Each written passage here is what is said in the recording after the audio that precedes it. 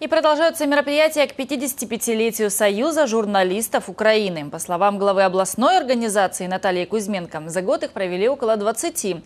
На завершающий этот круг почета церемонии вручали сертификаты тем, кто занимался на курсах журналистики для взрослых. Это единственные курсы такого рода в Украине. Как правило, там занимаются либо пресс-секретари, либо те, кто решил сменить профессию. Работы выпускников курсов уже можно прочитать на сайте областной организации журналистов.